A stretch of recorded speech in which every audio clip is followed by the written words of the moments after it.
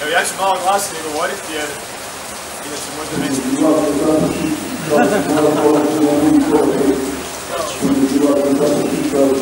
To je sve prva izgleda jedinica moja. Zapišite. Rodni grad. Ok, sad, e bome ako nam dođe sad vlak, bit će zanimljivo. A onda je još zanimljivije.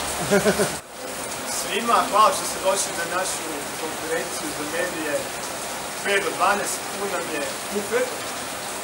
Na ovoj konferenciji za medije će koalicija Možemo, Nova Ljevica, Radiška fronta, Orah, Zagreb i naš grad predstaviti a, znači, listu za dijasporu, odnosno izbornu listu za 11. izbornu jedinicu.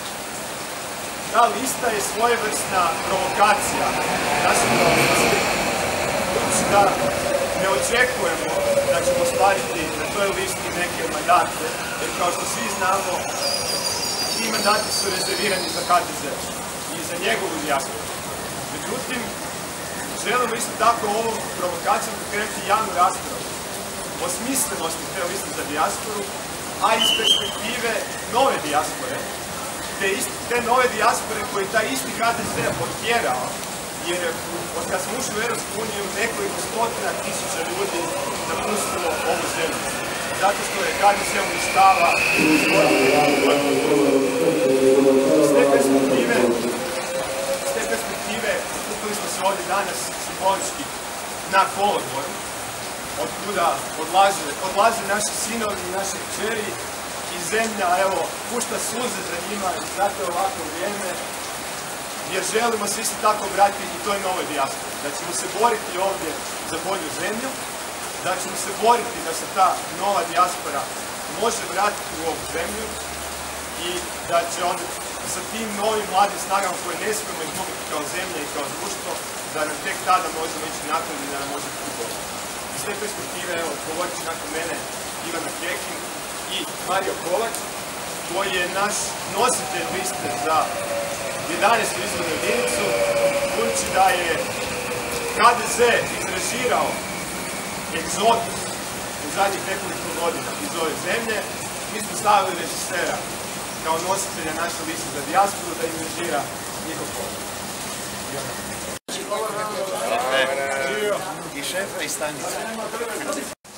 Svi vi koji ste otišli zato što ste bili izluđeni korupcijom, lopovlukom, beznađem. Svi vi koji ste stršali jer se krivo zovete, ne, ne sviđa im se komu se molite ili koga ljubite. Svi vi koji ste se dali uvjeriti da za vas ovdje sreće nema. Vi trebate izaći i zaokružiti možemo. A mi, mi ćemo napraviti najbolji, najveći povratnički tulum koji ste ikad vidjeli koji će uključivati transparentnu javnu potrošnju, koji će uključivati transparentne javne natječaje, koji će uključivati zadrugarstvo, solidarnost, nova zelena radna mjesta, koji će uključivati društvenu jednakost. Jer mi više ne pristajemo na to da ovo nije zemlja za vas i da ovo nije zemlja za nas. Mi ne pristajemo na parole koje nam nude da odemo odavde ako se nama ne sviđa. Mi ne idemo nigdje, ni mi, ni naša djeca. Mi ćemo ostati tu i gradit ćemo pristojno društvo, a vi ćete se vratiti i gradit ćete ga skupa s nama. I plus, na ovom dočeku, za razliku od nekih drugih, ja vam obećajem svirat će fakat dobri bedrovi. E, Dobar dan. Naš nositelj liste za dijasporu, evo, izvolite. Ajde da i ja nešto ponesem. Evo, dobar dan svima, hvala što ste došli. Uh, s kojim ću ja početi je nikad ne reci nikad. Ja sam stvarno bio jedan od onih, uh, vjerujem, apolitičkih ljudi, barem u ovom smislu parlamentarne demokracije. Neko ko nije bio zainteresiran i nema neku ambiciju biti u saboru ili na nekom važnom položaju. No kad me ekipa, čiji sam simpatizer već dugo vremena i u Zagreb je naš i ostali okupljeni poput koalicije, pozvala kao neko ko voli ponajviše u kazalištu teatar apsurda, svidjela mi se ta ideja da budem na toj 11.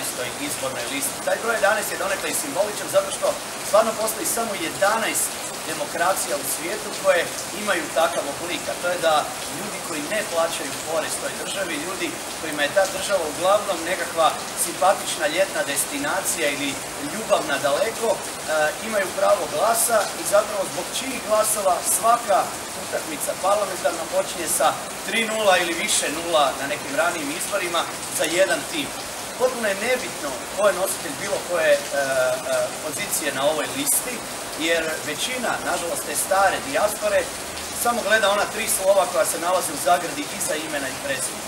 Na toj listi su s krivim e, slovima bili neki sjajni ljudi, poput, ne znam, Borisa Marune, prvi koji mi pada na pamet, pjesnika koji stvarno ima i taj emigrantski pedigre, nije imao nikakve šanse na ovoj listi. Tako da ne očekujem da imam ja previše šanse. Mi se zapravo obraćamo toj novoj dijaspori, ljudima koji su otišli odavde, nevojko i evo sada čekajući ovu konferenciju, svi smo razgovarali i nabrali svako od nas barem desetak, 20, 30 ljudi naših godina, mlađih, starijih, koji su naprosto izgubili ambiciju, izgubili povjerenje u ovo što im se ovdje nudi. Nadam se da, evo, ovim pomalo i absurdnim e, igrokazom, ali vrlo, vrlo ozbiljno promišljenim performansom možemo skrenuti e, pažnju i na to. Evo, pun nam je k. A, dijaspora, prevedeno sa starovičkog originalu, znači rasuto sjeme. Pun k ide obično u skladu sa time. A, mi bi htjeli da to ne bude tako, da kofere ne punimo iz tih razloga i da se barem dio tih kofera Hvala. kojim želimo, a znate da je Ginko dobar za podsjećanje, mi želimo podsjetiti sve ljude koji su se iselili u zaštitnom selu i u tom smislu ćemo zasaditi ovaj Ginko kao simbol da nikad ne zaborave zašto se selili i što treba napraviti za zaštitu.